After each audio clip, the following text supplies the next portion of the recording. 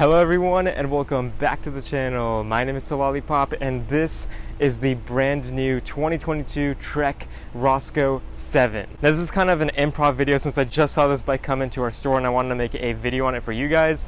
But like in every single one of my videos, I will be going over all the specs on this bike and what I think about each of them. I'll give you some nice video shots of every single part on this bike so you can see what it looks like on camera. I'll be weighing the bike in this frame size right here, which is in a size medium large and at the end of the video I'll give it a nice test ride and give you my initial impressions and overall thoughts and if the bike is worth the price point. And if you do like videos like these and enjoy this video, I'd greatly appreciate you liking the video and subscribing to my channel and give me any comments and any suggestions or feedback if you want me to make a video on a specific bike or you want me to change anything or things like that. I'm really open to feedback, so I'd really appreciate it. So without wasting any more time, let me grab my camera and I'll show you this whole bike. And here it is. Here is the 2022 Trek Roscoe 7 in all of its glory. But before I get into any of the actual components on this bike, I do want to quickly mention that the price is currently 1,830 US dollars.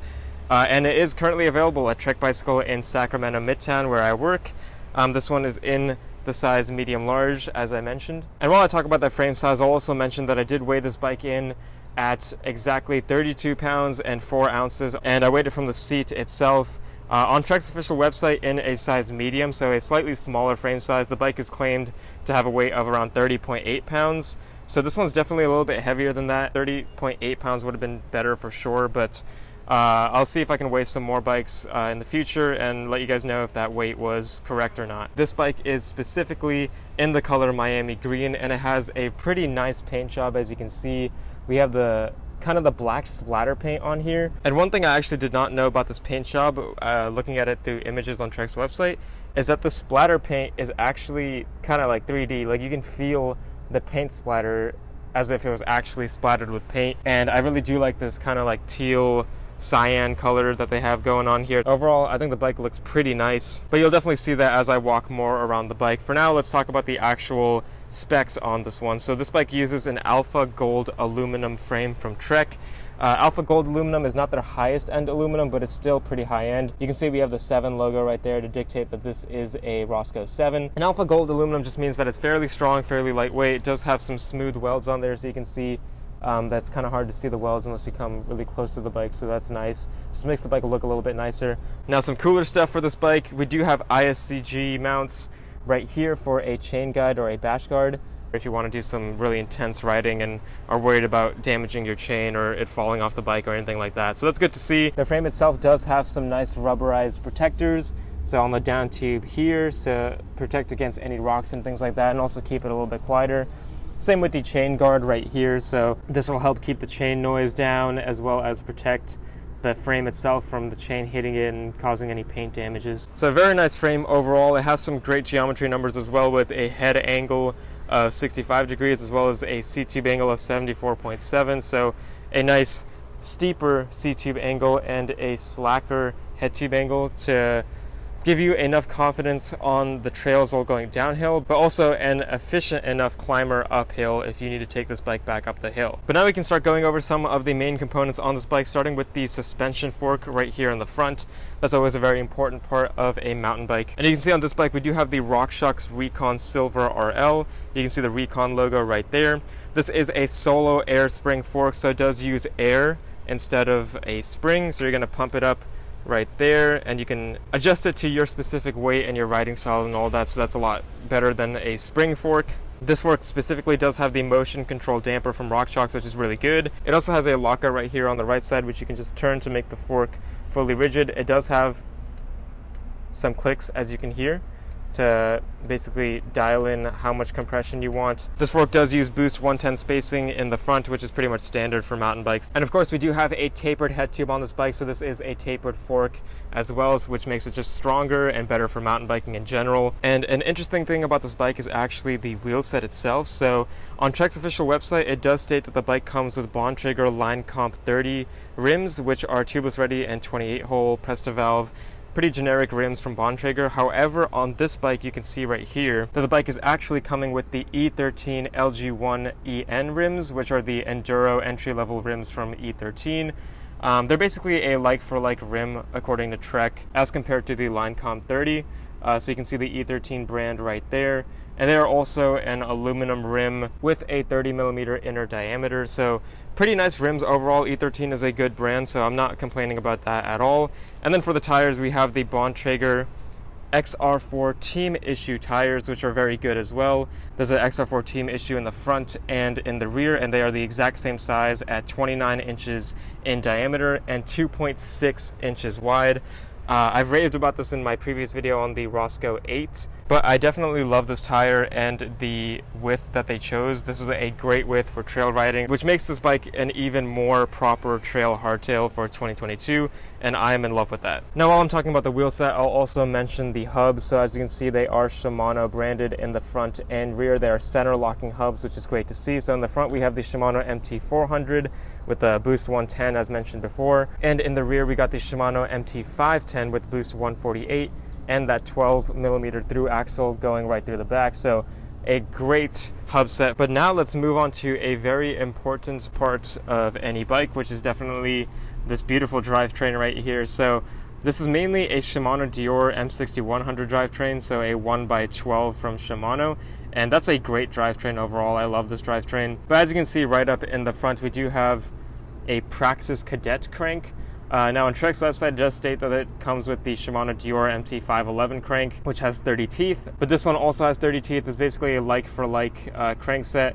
I do think the Shimano Deore would be, would have been a little bit better, but the Praxis Cadet is not bad at all. And then the bike uses the Shimano Deore M6100 uh, 12-speed chain to bring you back to the cassette, which is an amazing Shimano Deore, and it has 10 to 51 teeth, so a very wide range. Um, pretty much everything you would need for mountain biking. This is like one of the widest range cassettes that uh, any company offers currently. And then you can see right here, we have a very nice looking Shimano Deore rear derailleur, which is also the M6100. It does have this clutch mechanism right here to add tension on the chain. So when you engage it, the chain, chain will be a lot more taut and it'll keep it on the bike a lot better. Okay, but now let's talk about the dropper post that is spec'd on this bike, the seat post and the seat. Uh, the seat is a normal uh, Bontrager Arvada with steel rails, pretty typical on most Trek mountain bikes. And then the dropper post on Trek's website, uh, it says it's a TranzX dropper post, but uh, in this case, it looks like we have the Bontrager line dropper post, which is basically a like for like as well. So we have a kind of a plastic lever right here, nothing too special or crazy, but does the job. And then back here we do have the dropper post itself, which has 150 millimeters of travel in this medium large size. And you can see when I push the lever right now, it'll activate a bunch of travel right there. As you can see, it's very high up there. All right, but now let's talk about the brakes on this bike. You can see the other side of this bike uh, looks pretty nice as well. Nothing too special on this side, looks pretty much the same. But as you can see, uh, we have the Shimano MT200 brake levers on here, which are very common. You see these on Trek mountain bikes, so you can see them on the Trek Marlin 8 and Marlin 7, um, which is kind of unfortunate since this is like $800 more than the Marlin 7. Um, so if I did have any complaints on this bike, I think it would definitely be the brake set. But the MT200s are not too bad. They are two pistons, so for what this bike is designed for, I think they're not going to be good enough because they will hold you back a little bit, won't let you go as fast or as hard as you might want to. But you can check them out right here. Uh, you, you guys have all seen these before if you've seen my channel. They're pretty typical. One nice thing is definitely the rotors though. You'll definitely be fine keeping these on your bike if you switch out the brakes because these are 180 millimeter diameter rotors and they are center locking. So we got a 180 in the front and a 180 in the rear right here. And you can kind of see the frame right here, the way it bends out to accommodate that brake right there. Just the way Trek designed it looks a little funky, but it is what it is. And now we can talk about some of the finishing components on this bicycle, like the handlebar and stem and grips. So the grips are pretty generic, but we do have a Bontrager Rhythm Comp handlebar, which is just a an alloy handlebar, uh, 31.8 millimeter clamp diameter and a 15 millimeter rise on this one. And it is 780 millimeters wide. So definitely a very wide handlebar in this medium large frame size, but that's great because you'd rather have a wider handlebar for mountain biking than a narrower one to get better control and you can always cut it down if it's too wide for you. And then we got the stem right here which is a pretty generic Bontrager uh, stem as well. Also an alloy component and it has a 7 degree rise as you can see kind of going up there. So definitely a generic uh, cockpit on this bike but that's not the biggest deal. It's more important that you have some nice drivetrain and wheel components and suspension fork and all that. And it does have pretty good components so far. I'm liking most of the stuff on this bike.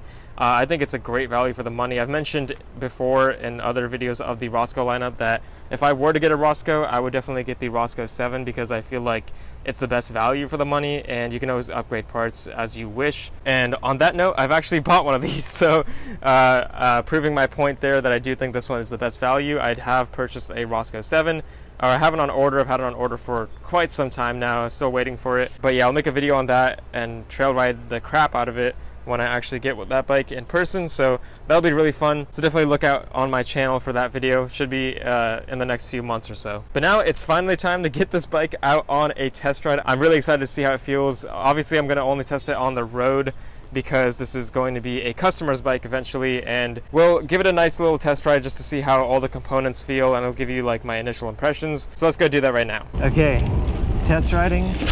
Woo! The Roscoe 7. Well, I completely forgot how playful this bike is. Just getting on it, you immediately want to just start swerving and jumping and throwing it around. It just feels perfect for that kind of riding style. Come on. Okay, let's see how well it climbs uphill. Should be just fine with that 1x12. Yeah, this is great. Easy climbing up this hill. Shifting is definitely not bad at all. This is a good drivetrain. Really don't need any upgrades right there.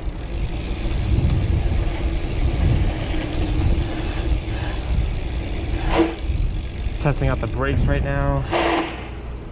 Yeah, I mean, they definitely stopped the bike because of those wider rotors you got on there, but uh, you can tell that these brakes just don't feel as high of quality as what you may want for mountain biking these days. The handlebars themselves are very wide and definitely great for this bike. I like how wide they are. Let's see if I can get some speed on this bike here. So I got the fork. Definitely is a heavier bike with these big mountain tires. So if you're gonna use this as a commuter, definitely gonna be a little slower than other options like the X-Caliber or whatever, but you still could do it. It just feels like a heavier bike for sure on the road. This dropper post, uh, works perfectly.